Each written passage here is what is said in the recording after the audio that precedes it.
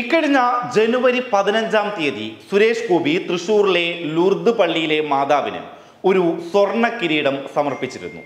സുരേഷ് ഗോപിയുടെ മകളുടെ വിവാഹത്തിന് കുറച്ച് ദിവസങ്ങൾക്ക് മുമ്പ് തന്റെ കുടുംബവും ബി ജെ പി നേതാക്കളും ഒപ്പം ചേർന്നുകൊണ്ടാണ് ഇത്തരത്തിൽ സുരേഷ് ഗോപിയുടെ നേതൃത്വത്തിൽ ലുർദ് പള്ളിയിലെ മാതാവിന് സ്വർണ കിരീടം സമ്മാനിച്ചത്.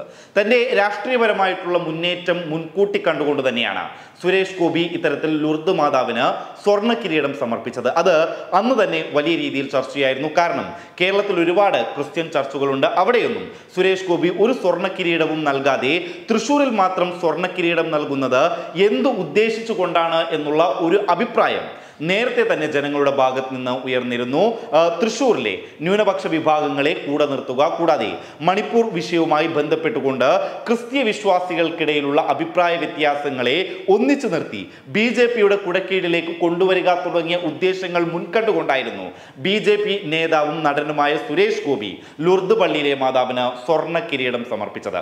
ഇപ്പോഴിതാ ആ വിഷയവുമായി ബന്ധപ്പെട്ടുകൊണ്ട് വളരെ ശക്തമായിട്ടുള്ള ഒരു റിപ്പോർട്ട് കൂടി പുറത്തു വരികയാണ് ജനയുഗം ഓൺലൈൻ എന്ന ഓൺലൈൻ പോർട്ടലാണ് ഇതുമായി ബന്ധപ്പെട്ടുകൊണ്ടുള്ള വാർത്ത റിപ്പോർട്ട് ചെയ്യപ്പെട്ടിരിക്കുന്നത്. സുരേഷ് ഗോപി ലുർദ് കത്തീഡ്രൽ ചർച്ചിൽ നൽകി മാതാവിന് നൽകിയ സ്വർണ കിരീടം.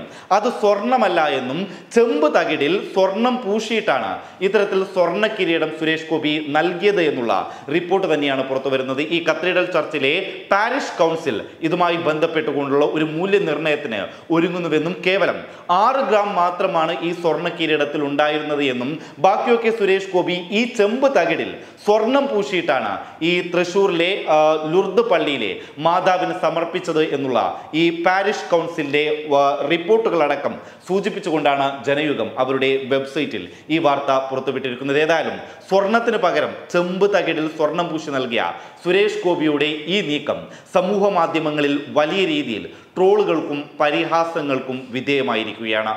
അന്ന് സുരേഷ് ഗോപി ഈ സ്വർണ കിരീടം നൽകുന്ന സമയത്ത് മാധ്യമങ്ങൾ ഒരുപാട് സുരേഷ് ഗോപിയുടെ പ്രവർത്തനങ്ങളെ പുകഴ്ത്തിക്കൊണ്ട് ഒരുപാട് റിപ്പോർട്ടുകൾ പുറത്തു വിട്ടിരുന്നു. ആ പുറത്തുവിട്ട റിപ്പോർട്ടുകളിൽ ഏറ്റവും പ്രധാനപ്പെട്ട ഒരു റിപ്പോർട്ടിൽ പറയുന്നത് സുരേഷ് ഗോപി തന്റെ സ്വർണ സ്വന്തം സ്വർണം നൽകി നൽകി രണ്ടാഴ്ചയിലധികം പണിപെട്ടിട്ടാണ് ഈ സ്വർണ കിരീടം ലുർദ് മാതാവിന് നൽകിയത് എന്നുള്ളതാണ്.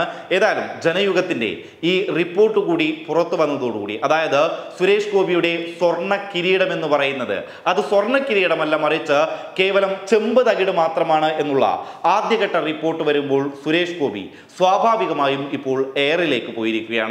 News desk public Kerala